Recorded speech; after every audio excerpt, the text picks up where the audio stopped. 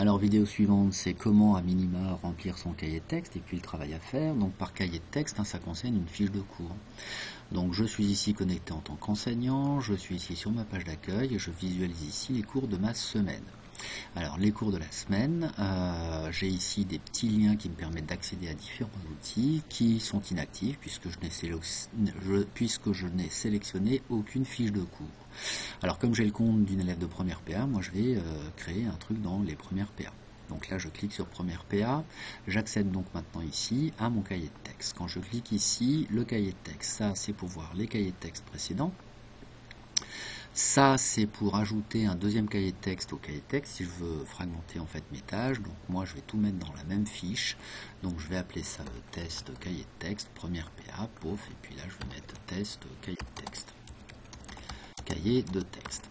Alors, euh, ce cahier de texte-là, par défaut, les cahiers de texte ne sont visibles que à la fin de la séance de cours. Donc moi, ce que je vais taper ici ne sera visible que après le 20 mars au soir. Si je veux le rendre visible pour permettre aux élèves de le voir par anticipation, il faut que je clique ici sur publier. Donc euh, je vais le publier.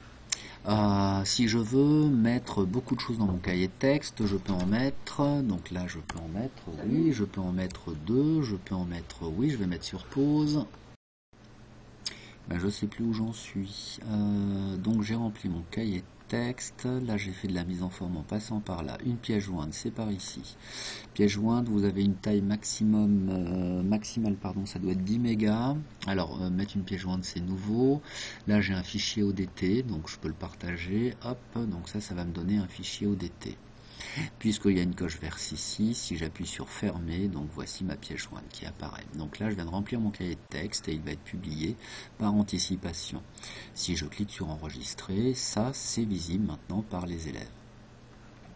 Euh, concernant, concernant, concernant le travail à faire, donc ça c'est un travail à faire que je peux déposer et qui sera visible puisque c'est publié, euh, que je peux déposer, donc puisque ça c'est mon cahier de texte du 20, c'est un travail à faire pour la semaine suivante, donc pour la semaine le 27.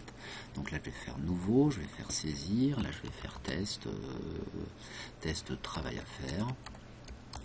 Hop, pardon. Et puis, euh, donc je pourrais taper du contenu. Alors si vous voulez aller à la ligne, un petit, c'est Shift Entrée. Et puis là, vous pouvez taper du contenu, Shift Entrée du contenu. Par contre, vous n'avez pas accès au petit module pour mettre en forme. Donc là, j'ai rempli, mon cahier de texte. Alors, ça va se remplir pour l'automatiquement, les élèves, documents joints. Donc si je clique ailleurs, là maintenant, je peux mettre un document joint. Je peux mettre un lien internet vers un site, une vidéo YouTube ou autre chose. Je peux mettre un lien ici sur mon manuel ce petit bouton fonctionne exactement comme celui-là.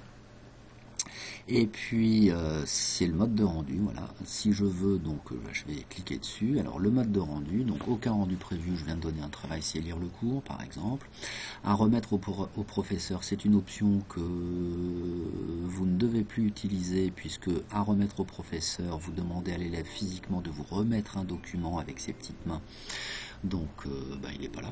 Ah, par contre, si vous prenez l'option à déposer dans l'espace élève, là, vous permettez à l'élève de déposer via Pronote un travail à faire. Donc par exemple, ça c'est l'option que je vais prendre, valider, donc c'est à déposer dans, et puis je vais lui demander d'ouvrir un document texte et puis de me le déposer, euh, voilà. Donc je vais faire un pseudo, un faux document texte. Là, je vais l'appeler, tiens, je vais prendre ça, je vais l'appeler compléter compléter, et puis je vais l'enregistrer. Donc ce document, je vais euh, test. S'appelle test et je vais le mettre dans téléchargement. Voilà. Donc ce document test, je peux le fermer, mais je vais le déposer en pièce jointe. Donc une nouvelle pièce jointe, j'ai dit dans téléchargement, test, toc. Et je ferme. Donc là, j'enregistre ce cahier de texte.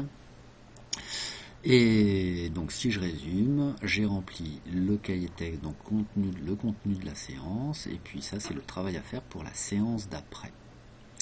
Et j'ai publié par anticipation en cliquant ici. Et je n'oublie pas de cliquer sur ma petite disquette si elle est verte, parce que sinon ça veut dire que c'est pas enregistré. J'en ai fini pour cette vidéo et je vais vous montrer ce que ça donne pour la vision d'un élève.